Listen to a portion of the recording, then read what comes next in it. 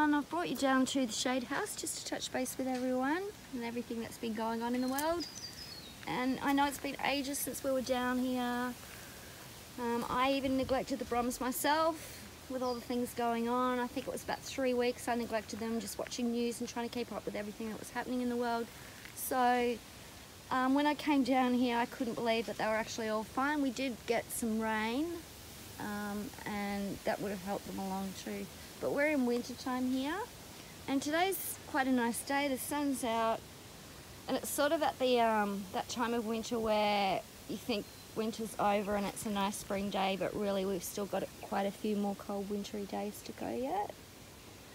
And I've been wanting to get you all down here just to hope that you're all really well. I know the bromeliad addicts will all be doing it really tough and I do want to do a special video dedicated to just for bromeliad addict, addicts. I myself am a former bromeliad addict and I've just been six months without buying a bromeliad and I've buckled.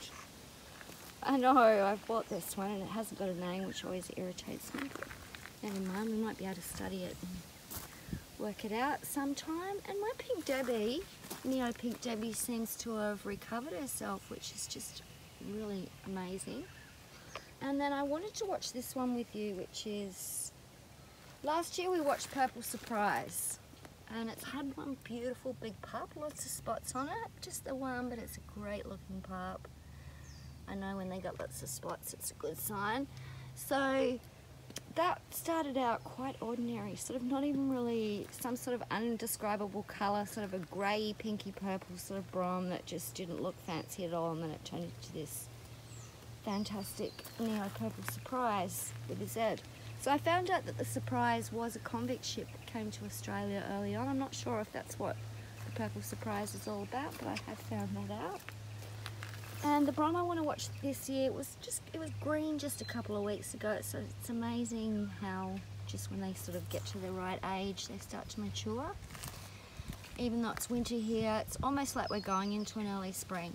So this is the Brom that I want to watch so this year with you because I think it's going to change a lot. So it's all about those quiet achievers. You know how I was talking to you about Broms that are quiet achievers, like they start out looking nothing too fancy and then they end up being absolutely spectacular. Yeah, I've got a feeling this one is going to be one of those ones. But yeah, I'm so proud of Pink Debbie. Like, she's still got little burnt tips on the edge, on the outside edges. But yeah, perhaps, perhaps she wasn't burnt inside. Not sure. But yeah, I thought that was half grown before, but it's still got a long way to go to maturity. It's one of those slow growing ones. And also Mishi. Um, it's taken a long time, so perhaps it does need to go into the new house. So we might mark that down as one that needs to go in with more light. Some of them are looking really, really good. Victoria Pink's just only, she's only got those pink, pink bits um, a week ago. So she's been green every week. So perhaps spring is coming early. Or the sun's changing above. That's probably what it's more about, the sun changing, coming across them. Because a lot of things where I just showed you actually up in the garden with the um, organic bromeliads, it looked very shady, but the sun does come across there, but I just didn't catch it at the right time when I was filming. So the last thing I wanted to get you down here for is just to say thank you so much to our Bromeliad Club for, for doing the right thing and closing down and reacting really promptly in the pandemic, not putting, you know, money and, or anything like that before anything else. I think we all had such a hard time just dealing with having to go down and vote. I know I took a pen and a pencil with me because I didn't know which one. I didn't know which one we had to put on the ballot if we needed pen or pencil, but I made sure I was very prepared. So I think they've just done such a marvellous job, and I know it's really hard for anybody in any specialist, whether it's bromeliads, succulents, orchids, everything like that, and especially the, the bromeliad addicts that would have been doing it so tough when everything just sort of shut down. I know a lot of people are opening up again, and I just wish everyone well And before I go, I wanted to talk about one thing. One last thing. uh, tag fairies. Uh, bromeliad tag fairies.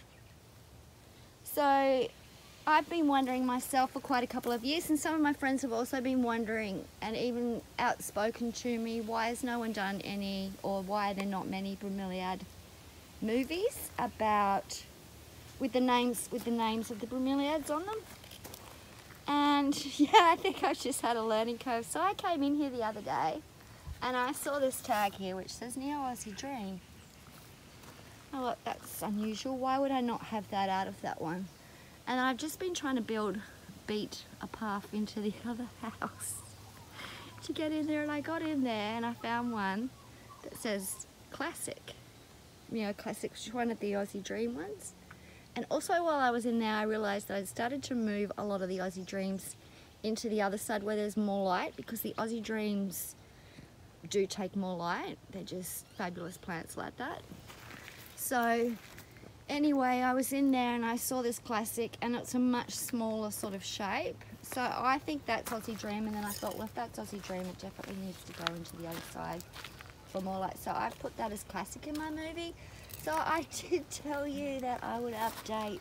So I'll probably be updating all my name movies, but I try to get them all right. But, um, and everyone knows about the Brom tag fairies. Like, um, tags just appear, things like that. So, anyway, talk to you soon.